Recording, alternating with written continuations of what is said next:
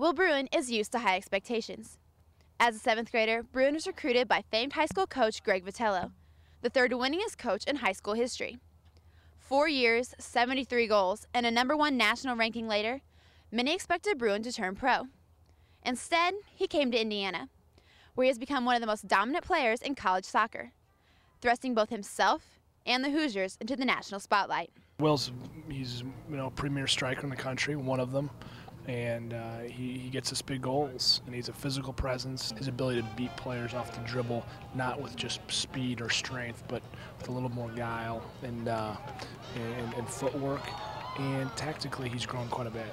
We grew up playing together for club back in St. Louis, so I mean, I know him pretty well on and off the field, and I mean he he has the ability to take over a game and get us through the game, give us a goal always gives us a chance to win. So whenever he's on his game, we're behind him.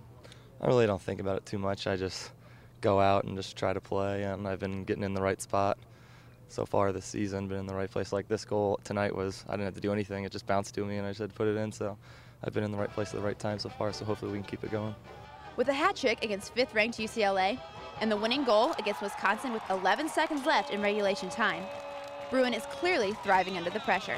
It makes me like mentally get ready for the game more than not having expectations. Will's a uh, lead by example. He, he's not a, a, yeller and screamer. He, he, goes out and he obviously is a very talented um, player and he scores big goals. So certainly the team leans on that. Will Bruin is definitely used to high expectations. Many expect him to turn pro in the next couple of years, where the pressure is sure to only increase. However, the person with the highest expectations is Will Bruin himself. My parents always tell me like you don't need to put as much pressure on yourself because I probably if I don't have a, a, good game, I'll put more, like I'll be down on myself more than anybody else will. Um, if an opportunity arises, then I'd like to play at the next level, but right now I'm just focusing on this season, but you never know.